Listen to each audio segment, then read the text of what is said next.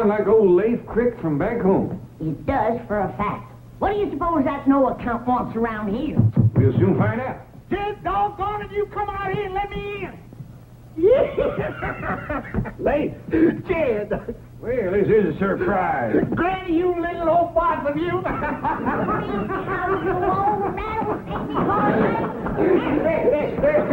he ain't changed a bit, has he, Jed, huh? No bigger in a minute and scrappy as a bend in. Hey, look who's here. How's there, Mr. Crick? Sure is good to see you. Elly May Clark, you're as pretty as a fistful of pink hollyhocks. Yes, sir, Jed, everybody always did say we had the two prettiest girls in the hill. Hey, is the Essie Belle with you? You bet she is. Hey, where's Jethro? He ain't home from school yet. How about Marty? Bring her along? Oh, I had to leave my woman home to do the chores, Granny. Roof needed patching, well caved in, had to be dug out, mule needed chewing, lots of little things like that. You know, we just poor gully jumpers. We don't roost high on a hill like you folks. Essie Belle ain't out in the corner, Mrs. Crick neither. Had to leave my woman to home, Elly May. And Essie Belle, she's over at the motel unpacking and purdying herself up. Motel? Why, Lafe, we got plenty of room to take care of you and Essie Belle right here. Well, now, Jed, you know I ain't one to trade on a friendship. Of course, after Jethro and Essie Belle's proper hitch, then we're going to be wanting to live near our kinfolk. Hitched. Jethro and Essie Belle? You mean you don't know what that boy's been up to? No, I can't say as I do, Lafe. And we's got some talking to do, man to man. Come on, Ellie, we'll make a pot of coffee. Yes, sir, You've got a couple of fine women folk there. I reckon you're as proud of them as I am of mine. I reckon. I reckon you'd want to see right done by Ellie Mae just the same as I'd want to see right done by Essie Belle. I reckon. I reckon you wouldn't want no young man playing fast and loose with her feelings. I reckon. I reckon a man's daughter All right, about supposing you stop blowing on the fur and get to the hide. What are you trying to say? Well, don't come easy saying what I got to. Well, let's go in and sit down and give it a try.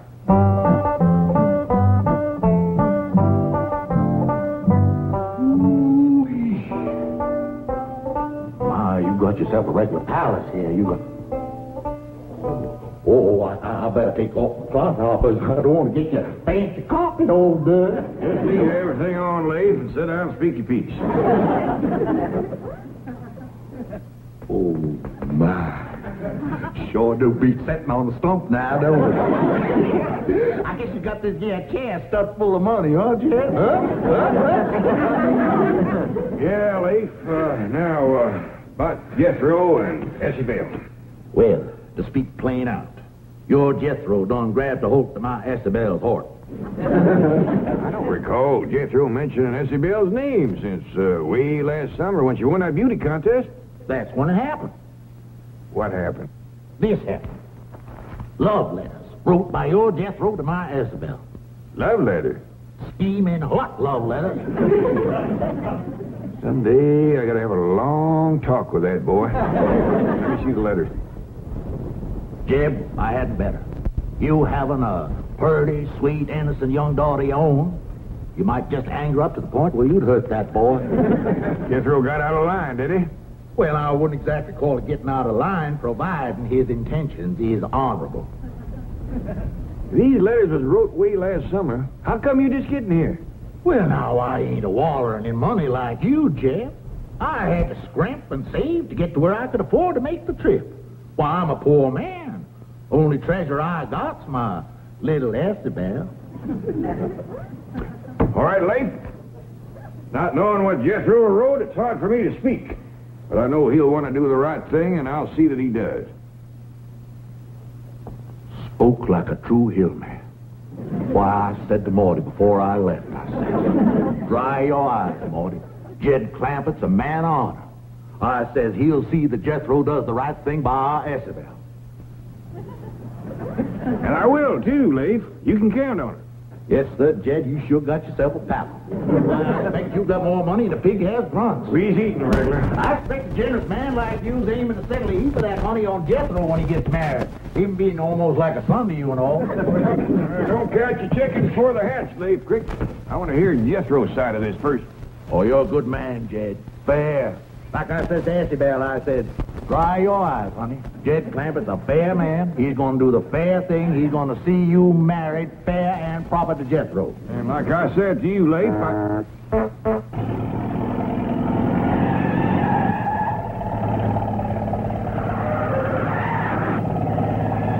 Whoever's driving that truck's mighty shy on brains. That's Jethro.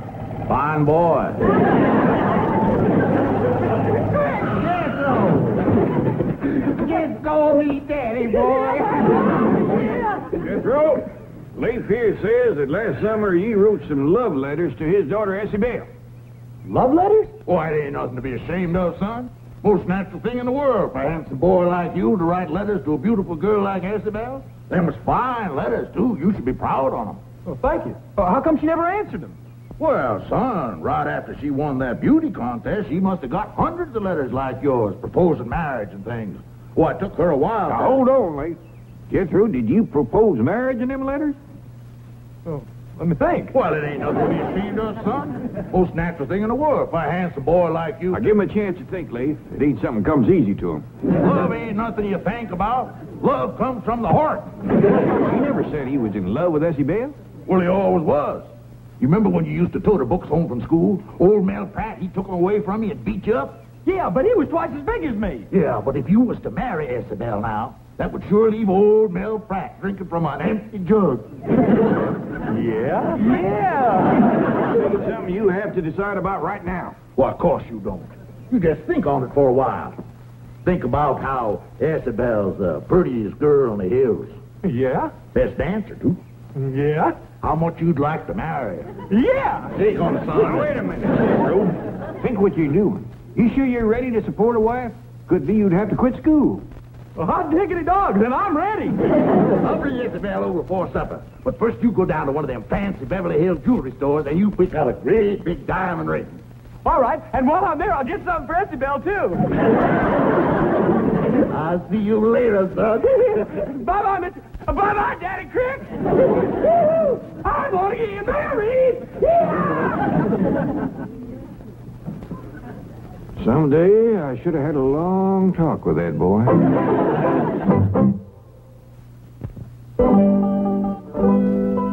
Oh, come on, Jed, cheer up. Maybe Essie Belle will make a good wife for Jethro. That boy ain't ready to get married, Granny. He just don't know what it's all about. He's a heap smarter than you give him credit for. Why, he's halfway through the sixth grade.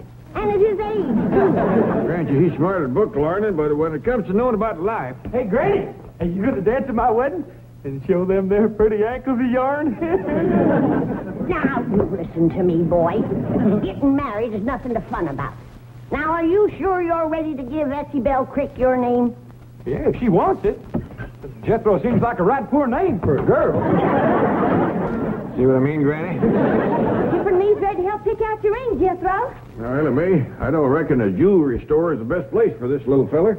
He's right giving a picking up things and swallowing them. See what you mean, Paul.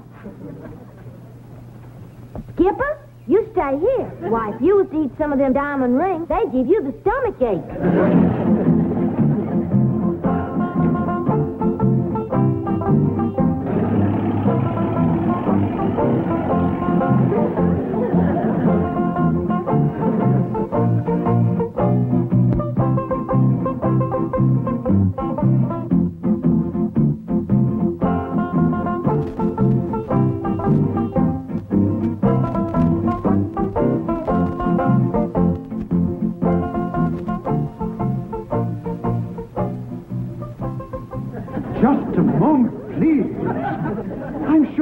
Be in the wrong place. Is this a jewelry store?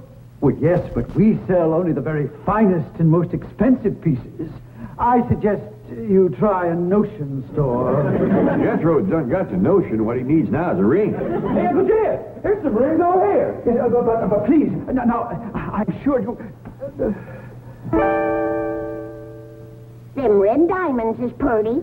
Those are rubies. Well, ask her if she wants to sell one. The ruby I'm referring to is not a lady. How she got them rings is her own business.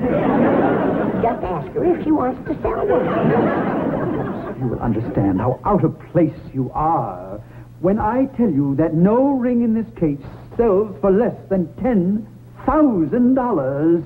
Now, wouldn't you like to look elsewhere? Yeah, show us where you keep the good stuff. Security guard, please. That's right, Paul. Mr. Drysdale said we should always ask for the best. Did I hear you mention the name Drysdale? Yes, sir? Milburn Drysdale? Yes, sir? He's our next door neighbor.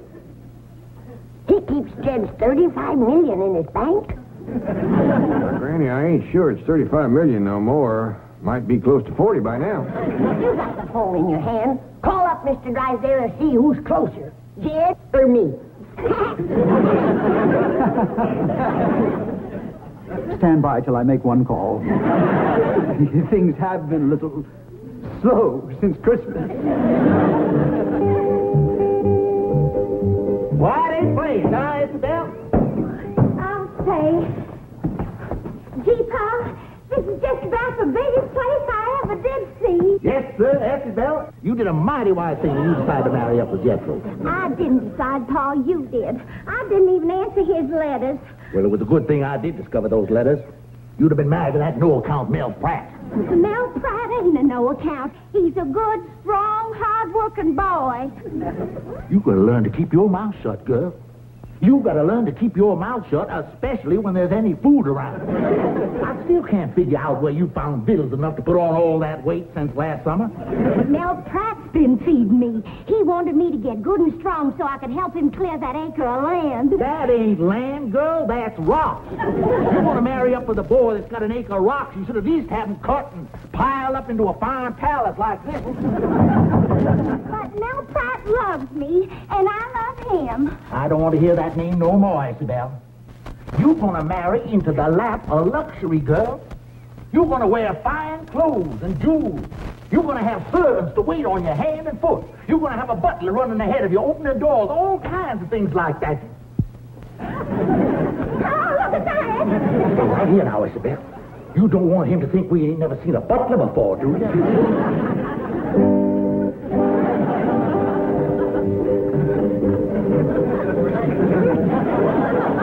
I do hope you'll tell Mr. Drysdale how well we have treated you here. Oh, uh, here we are. Now, uh, this is the engagement ring. Thank you. Uh, you might, uh, in a subtle way, of course, let the bride know that she is getting ten perfect carats. Well, that's mighty nice of you. Nice, my foot. After the money you spent, he could at least send her a smoked ham. And here are Madame's lovely necklace and earrings. How many carrots did I get? About fifty. Uh, but of course, uh, they're not perfect. Well, in that case, I'll take turnips.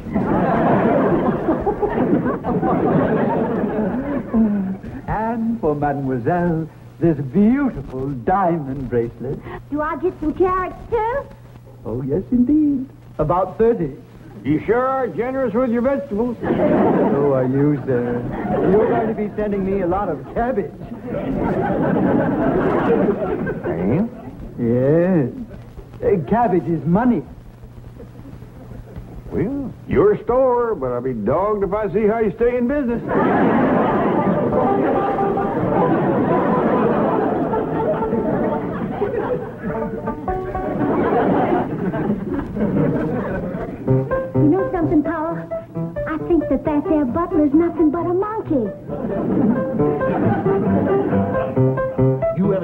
Ever see a monkey playing the piano? No, Now, you just hush up, girl, let me do the talking. Mr. Butler, that's mighty fine music.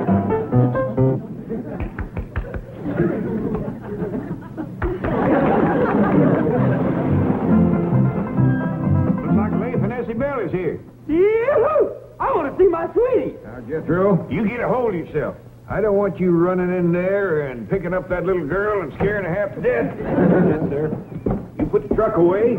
I'll wait for you here. We'll all go in together like a proper family order at a time like this. Yes, sir, Uncle Jed.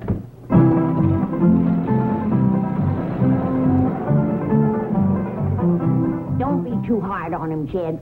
Now that I think back, he must be desperate in love. What makes you think so? For the past week, he ain't at his supper. For Jethro, that's desperate. that boy will eat anything that don't bite him first. Who's got a coming, Paul? Looks like that Beverly Caterers. Yeah, the young widow that cooks for folks.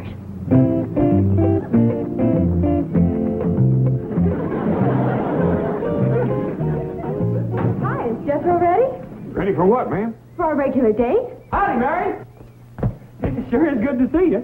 You're right on time. Let's go. Wait a minute, boy. Uh, you got a date with this girl?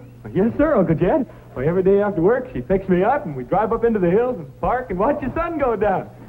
Then you know what we do? Elly May, go in the house. what do you do, boy? Well, then we climb into the back of the truck and eat all the victuals that's left. No wonder he ain't been eating his supper. I've got your favorite today, Jethro. Swedish meatballs. Jethro, uh, the girl you're going to marry is waiting in the house. You can't go running off with her and leave Essie Belle. oh, yeah. Hey, hey, Marion, uh, you reckon there's enough meatballs in the truck for the three of us? Forget it. Huh? Here's your blushing bride. Come give her a big hug. Excuse me, ma'am. I'm looking for my sweet little old Essie Belle Crick from back home. I'm right here, Jethro. Throw, son, this here's Essie Belle. Your Essie Belle Crick? Yeah, Jethro. Marion!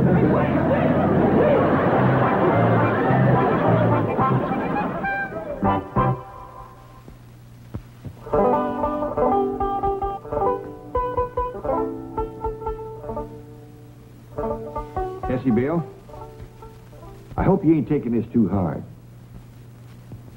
I know it's hard for you to talk at a time like this. I understand, so you just listen. First off, I want you to know that we's getting Jethro back for you. Ellie's cut across the hill, and your paws took out after him in his car with Granny riding shotgun. Now, I don't excuse the boy for what he done, but you have changed a mite since he seen you last. Filled out, you might say. Jethro, he's got kind of used to these puny city girls.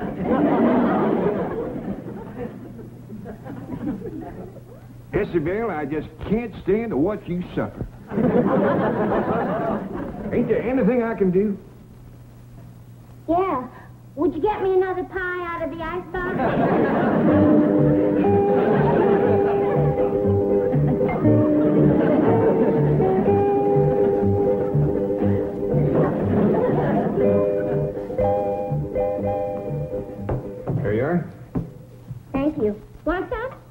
No, not right now. Uh, you don't appear to be too unhappy.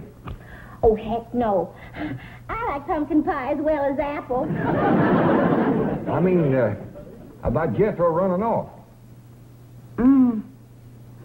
Mr. Clampett, if I told you something, would you promise not to tell Pa that I told? Because he told me not to tell you.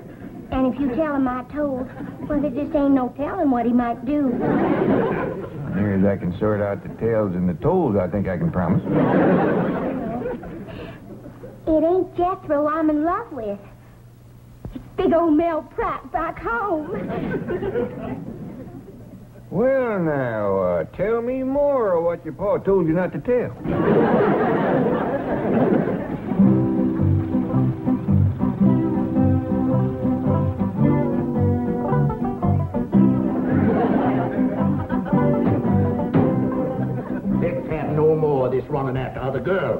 Ain't no boy can love two girls. That leaves Isabel out. She's about two girls and a half. Mind your tongue, Jethro. You take a girl for better or worse when you marry her. Yeah, but she got worse before I got married. Picture me, Lafe. I'll look after Essie Belle. Come on, boy. Let's start talking about this wedding. Well, Mr. Crick, You call me daddy now you're marrying up with my daughter. but Mr. Crick, I don't think I want to get married to nobody. I want to finish the sixth grade so as I can be a brain surgeon. You should have started thinking about that before you wrote Isabel them hot, steaming letters full of love talk. I don't remember no love talk. You don't, huh? Now, just how'd you start them letters? Dear Essie Belle. Well, ain't that love talk, calling a woman dear? It is. I'm in trouble with a lot of women. Men, too. Well, Lafe, I see you fetched him back all right. Now, Jethro, you get upstairs, get packed for your honeymoon. Oh, but Uncle Jed, I don't want Oh, get up there and do like I tell you. Oh, yes, sir. You're a good man, Jed. Fair. I try to be. What do you think of my giving Jethro and Essie Belle my house for a wedding present? Oh, that is fair. that is really what you call fair. Of course, it's uh, just a little two-room place, but they'll make out. well, well, I, I ain't the best accountant, Jed, but I, I done towed up 12 rooms since I've been here. Oh, I ain't talking about this place. I'm giving them my little shack back in the hills. Back to home. Yeah, there's uh, half-acre land goes with it. Of course, it's mostly rocks and stumps, but uh, a couple of strong young uns like Jethro and Essie Belle have that thing cleared in four or five years. Is that all you're gonna give them? Oh, shucks, no. Essie Belle, fetch in that other wedding present I give you. Coming, Daddy Clampett. That's better. I always said you was a generous man. Why, just before I left home, I, I, I said to Marty, I said, why, Jed Clampett's, a, a generous man. Why, there's just no telling why. Why, what, what, why, why, why are you doing with him? Daddy Clampett gave him to Jethro and me to take home with us. You, you can't take him home with you. Why, folks is liable to think he's my grandson. Oh, you could tell him he's a monkey. That ought to clear it up, leastwise for some folks. Jed, you mean you ain't gonna give the youngins no money? Oh, you bet I am. Here you are, Essie Here's a brand new penny for you to nail up over your cabin door. Ain't nothing brings you luck like a new penny. Thank you, Daddy Clampett. Look, Pa, ain't it shiny? You get that thing out of here. Why, why, you'd be better off marrying that Mel Pratt. He's got a whole acre and a nice cabin, and he's got a sow with a litter of pigs. Now, just a minute there, Lafe. Essie Belle was promised to Jethro. While we're on that subject, let's have a look at her dowry. Uh, I ain't got no dowry, Daddy Clampett. Here, you, you don't want Jethro marrying no girl without a dowry. Now, Mel Pratt, he don't care. He'll take a dowry or no dowry. How soon's the wedding? I'm all ready to dance. There Ain't gonna be no wedding, Granny. I'm taking my Essie out of here. Come on, Isabel. Now, just a doggone minute. I got all dressed up to have a wedding dance. Now, let's have it. But she's gonna marry Mel Pratt. Don't bother me with details. Let's get on with the wedding dance.